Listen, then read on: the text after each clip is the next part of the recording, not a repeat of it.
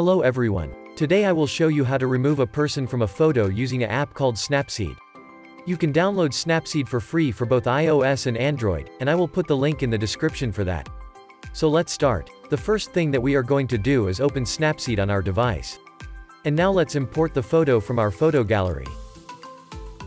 As you can see, I have a person here that I want to remove.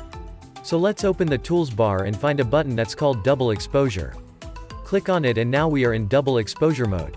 So click on the photo icon in the bottom and let's import the same photo one more time. After we have done that, we need to move the photo on the right or left side. We need to do this just a little bit so that we can see two people standing next to each other.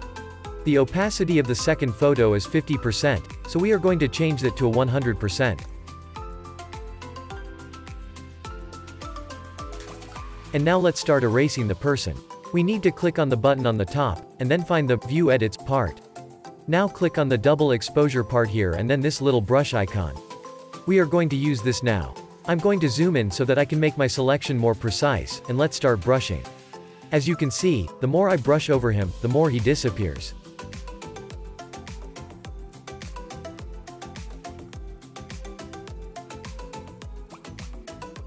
And we have some artifacts that are left over, but don't worry.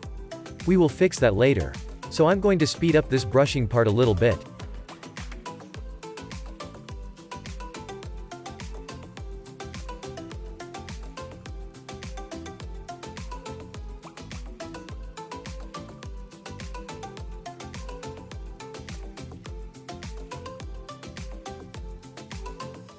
You can see that we deleted the person and added a little bit of the rocks from the previous photo.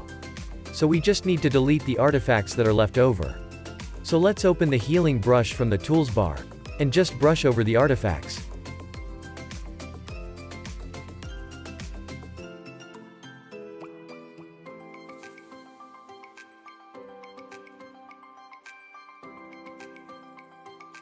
When you are happy with the photo and edits, just save the photo.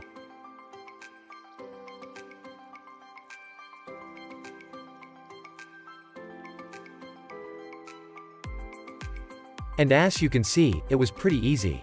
And that's it for this video. If it was helpful, leave a like and subscribe to the channel for more content like this. Thanks for watching.